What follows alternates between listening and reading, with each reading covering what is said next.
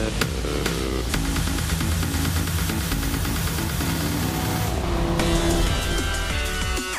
Ladies and gentlemen, please welcome the CEO of Audi Sport, Stefan Winkelmann.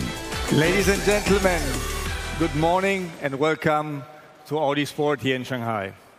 The next couple of years will be interesting and exciting at the same time.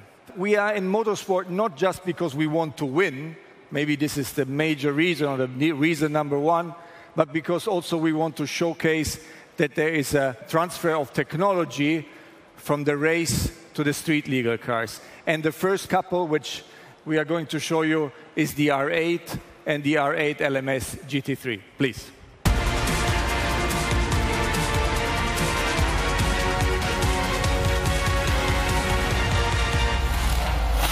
So, ladies and gentlemen, can you imagine that the RS LMS and the GT3 with the street legal cars, they have 50% of common parts? I think that this is really the proof of transfer of technology.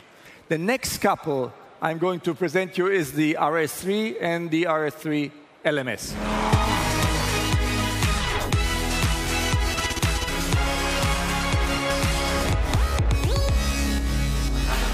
This car here, the RS3 LMS, is and was already successful on the racetracks around the world before the street legal car is going to hit the market. So it's another proof of this transfer of technology.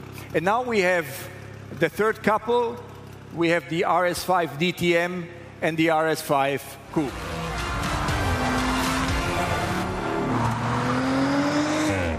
So this time we don't have the race car, we have the street legal car, the RS5 Coupe. Why? Because this is the Asia premiere of this car. For us, this is the perfect combination of luxury, high performance, and outstanding design.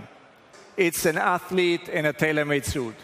This car has a 2.9 TFSI biturbo engine with 450 horsepower, and uh, the top speed of the car is 280 kilometers an hour. And we also achieved to reduce the CO2 emissions by almost 20%.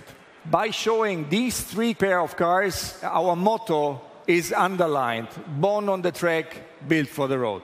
Thank you very much and enjoy the show. Grazie.